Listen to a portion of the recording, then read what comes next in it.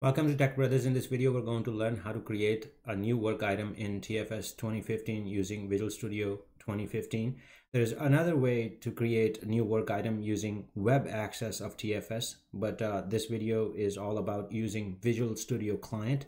Um, other thing is that uh, your uh, work item, number of work items and names of work items really depend on when you created your team project, what template you used.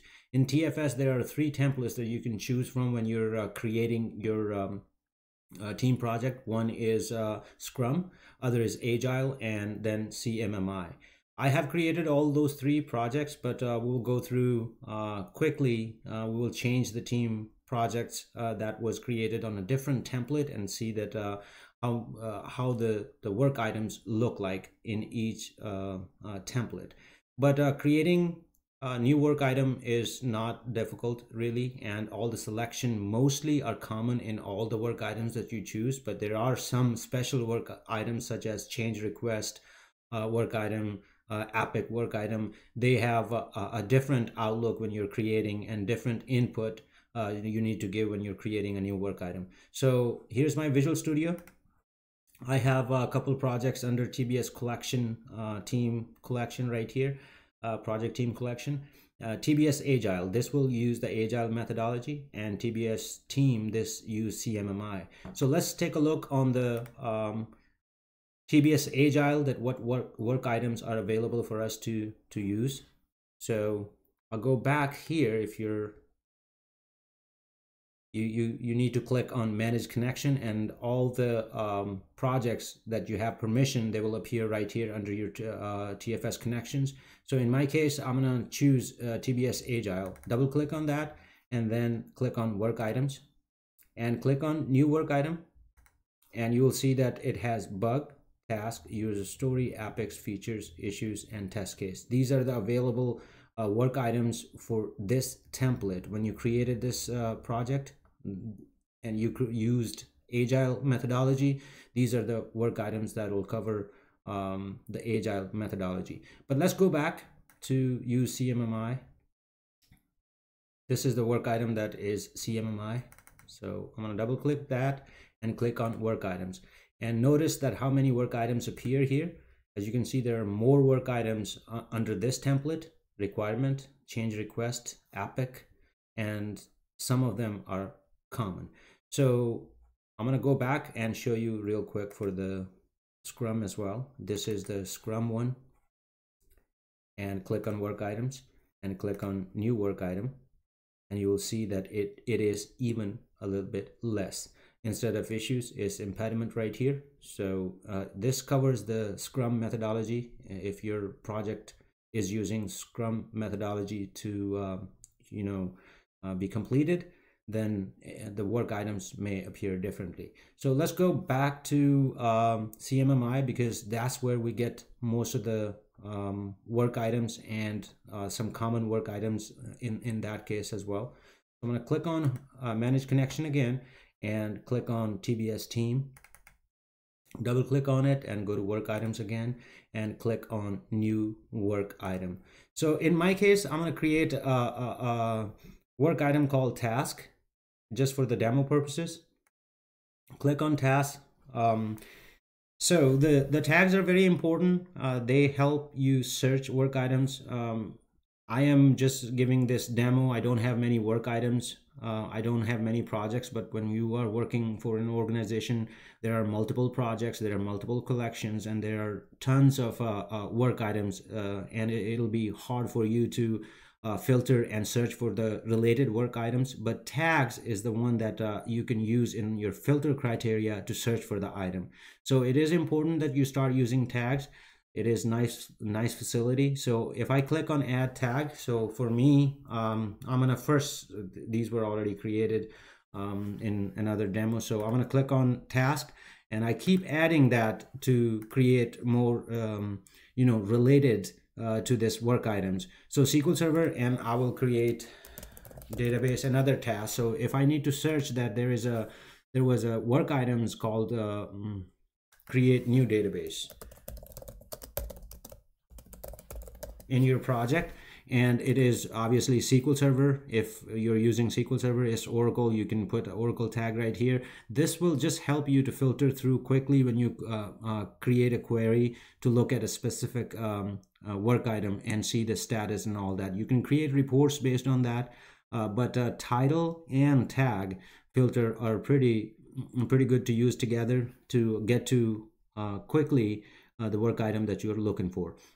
So let's cover uh, this section, uh, the status, planning, classification, efforts. These are the columns that are common in almost all the work items when you create. But based on uh, um, work item type, the, the, the um, rows might change right here that what value they accept. So in, uh, in the work item type task, we have assigned to. Uh, for example, you have you can assign this to a specific DBA, or you can assign to uh, specific DBA team, but that team needs to have a permission on your um, Team Foundation server. If they don't have the uh, permission on Team Foundation server um, or on that project, then it might not appear. It'll it gets pulled out from your um, Active Directory when you give permission on your uh, Team Foundation server. But also once that's there, then it gets collected in your Team Foundation server security repository, and that's where it gets pulled out when you create a new work item. Every time you create a new work item, the state is always proposed, reason is always new. But if um, there's a suppose that you have created this work item and there's some work is done and now the state is changed maybe from proposed uh, it is um, completed. Uh, maybe it's in progress. Uh, there, the state will change as soon as there is some work done and this um, work item is saved. The reason you can also, um, you know, this this will change once the some work is done on this work item. Uh, priority in TFS, uh, the higher number shows the lowest priority. So if you wanted to mm, uh, increase the priority of this item since creating the database might be the first thing that you need to do in your uh, um, in your project to, to start the project and uh, the development then you might need to click on one. That means that uh, you know it's a time centric uh, it'll be um, when when a person receives SQL Server team receives that this is the highest priority they will go ahead and create the database right away or uh, the SQL Server manager will assign their resource right away to create this database because all the other um, development really depended on this uh, particular work item. Once uh once that uh triaged this is for mo uh, most of uh most of the cases triaged is just for the review for your uh, manager or upper management or even the team lead so pending means that uh, that person has not looked uh, is still waiting for the review. But if you click on that um, if you have sent more info and they they click on info received however they have not uh, they haven't gotten the chance to really review it. If they have reviewed it and more information needed they will click on more information and uh, um, update um, your work item. And then based on uh, their selection uh, different email will, will start. Uh, maybe the the database folks will get an email that uh, okay um, you know can i get more information? For example if it is assigned to a database and they have put new database name and didn't provide the size the the person that is assigned to they they can go and click on more info uh, and put that in description that i need more information so that i can put initial size of the database. I'm just making this up that uh, whatever the case may be. But uh, pending uh, if triaged triaged means that uh, you're you're it's been reviewed and it's been um, approved. So depending on that uh, you can select the triaged selection blocked. Uh, there are many reasons that this uh, work item can be blocked. Maybe risk is too high. Um, maybe uh, there is no space in the existing SQL Server. There a separate SQL Server needs to be um, installed and uh, created. There are different reasons that this can be blocked and if it is blocked then the person uh, you know who is reviewing that can block it whatever the case may be.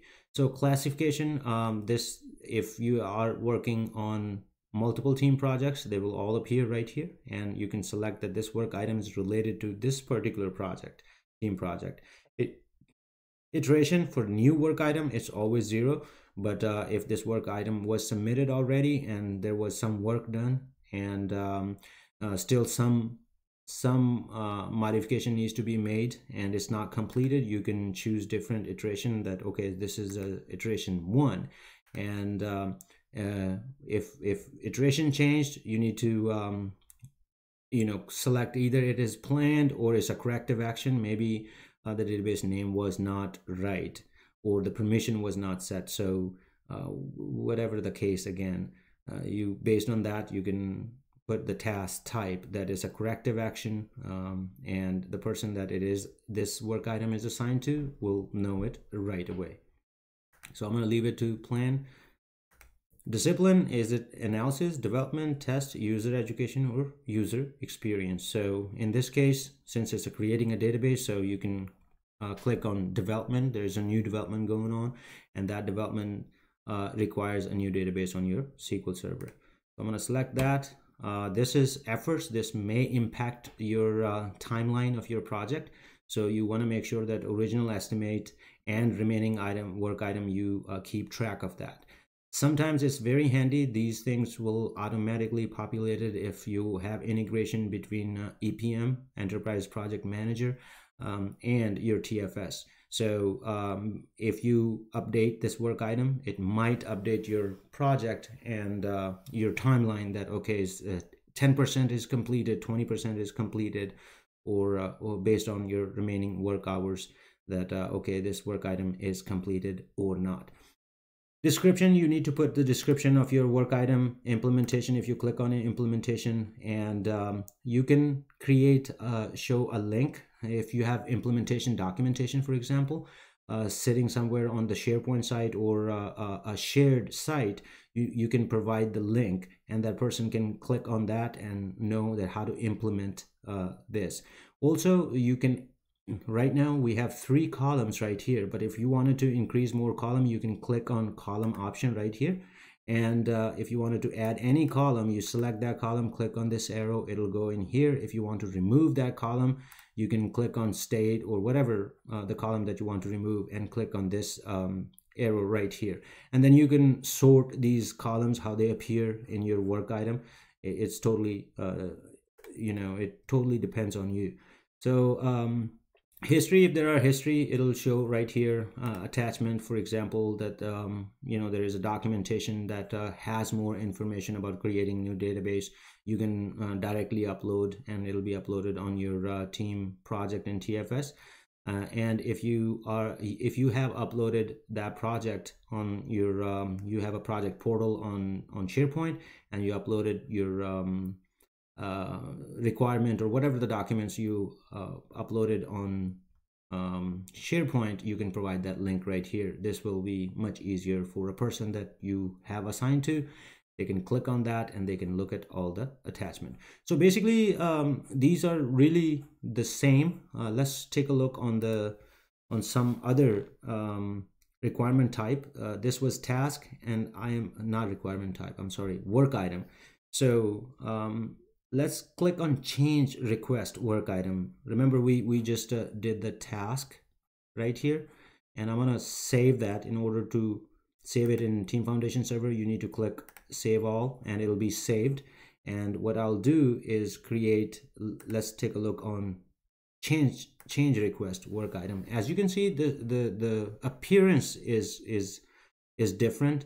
Uh, not much different as far as assigned to state reason priority uh, and, and all that. But look at right here justification analysis and requirements. These three things are added. Well requirements was always there but uh, analysis and justification. Based on the type of uh, uh, work item uh, these columns may change um, and uh, you have to provide justification for the change request for that particular work item that why this change request is put in um, analysis if there there are analysis around it impact on architecture what is the impact on user experience what is the risk um, on this? If you go down all the way there are so many things since this is more of a uh, upper management review uh, there are a lot of fields that you need to fill uh, in order to you know provide your analysis.